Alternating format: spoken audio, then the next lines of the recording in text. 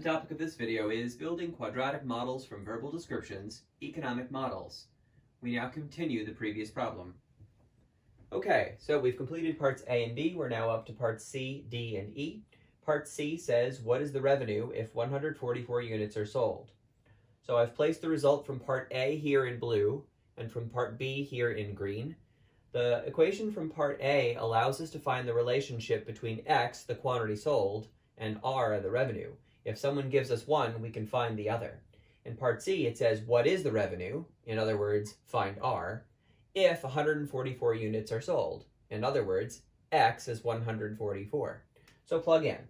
R of 144 is equal to negative 1 eighth times 144 squared plus 22 times 144, which equals all right, order of operation says I should do 144 squared first. So negative 1 eighth times 144 squared is 20,736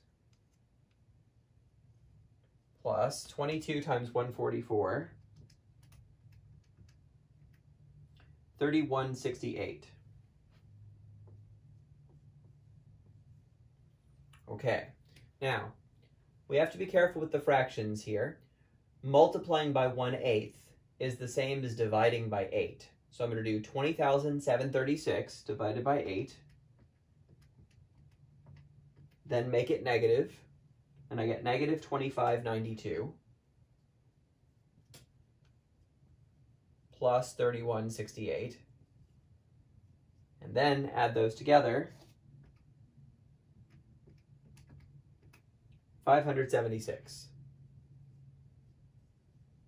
Now, 576, what? Well, this is our revenue, so this is $576.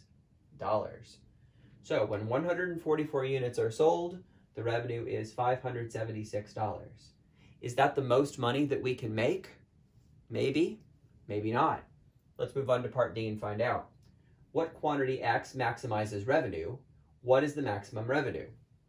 All right, Well, we have this equation that tells us the relationship between revenue, R, also known as R of X, and X. R of X equals negative 1 8 X squared plus 22X. The problem uses an extreme word like maximizes and maximum. So, your job as an algebra student is to recognize that when you see an extreme word like smallest, largest, minimum, maximum, Verify that your equation is quadratic, because if it is, the vertex will help you find the answer. So is this quadratic? The answer is yes. ax squared plus bx plus c.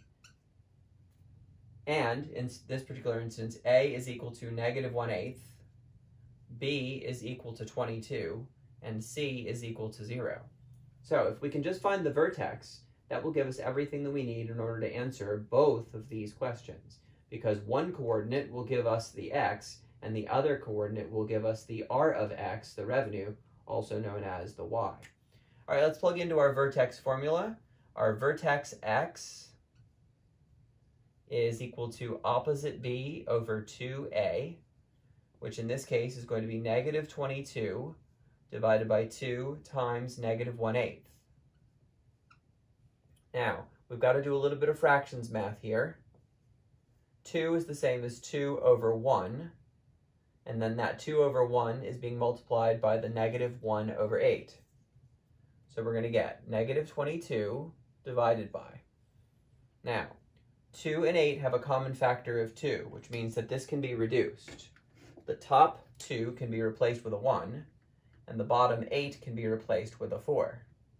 So then this entire fraction is just 1, and anything times 1 is itself, leaving me negative 1 fourth. So I have negative 22 divided by negative 1 fourth. And I'll choose to put the negative up here with the 1. Now, how do you divide fractions? You keep, change, flip. So this is a negative 22 times a 4 over negative 1. Negative 22 is not a fraction, but we can write it like one. Make it negative 22 over 1. Now do the multiplication. Both of my denominators are 1. Of course, this one is negative, but a negative divided by a negative is a positive. So I just have to multiply the numerators. And 4 times 22 is 88. So the vertex x is 88. That answers the first question. What quantity x maximizes revenue? x equals 88. As for the second question, what is the maximum revenue? We need to use the same scale that we used in part C. We now know a value of x, we just have to plug into here to find the corresponding value of y, also known as r of x, also known as the revenue. So we plug in and we say r of 88 is equal to negative 1 eighth times 88 squared plus 22 times 88. Using the same steps as before, 88 squared, 7744, 22 times 88, 1936. Multiplying by 1 8 is the same as dividing by 8. So 7744 divided by 8 is 968 and then make it negative. So negative 968 plus 1936 gives us the value 968. 968 what? Well, this was our revenue, so it's $968.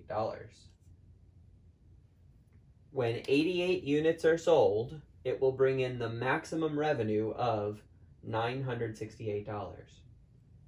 Okay, and that brings us to part E. What price should be charged to maximize the revenue?